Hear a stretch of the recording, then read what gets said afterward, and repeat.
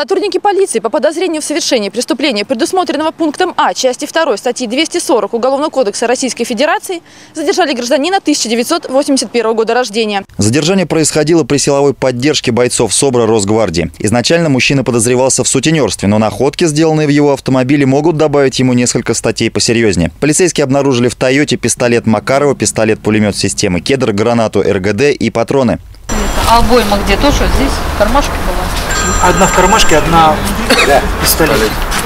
Сейчас задержанный подозревается в преступлении, предусмотренном пунктом А части 2 статьи 240 Уголовного кодекса Российской Федерации «Вовлечение в занятие проституцией». Мужчине может грозить до 6 лет лишения свободы. Также полицейские проверяют причастность задержанного к другим криминальным деяниям. Как сообщили в ОМВД, здесь многое зависит от результатов экспертизы найденного оружия. Изъятое направлено в экспертно-криминалистический центр регионального УМВД на исследование, по результатам которого будет принято соответствующее процессуальное решение.